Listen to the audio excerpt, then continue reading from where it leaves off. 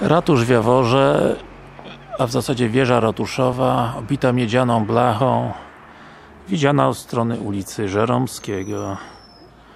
Oczywiście wszędzie instytucje bankowe, a tutaj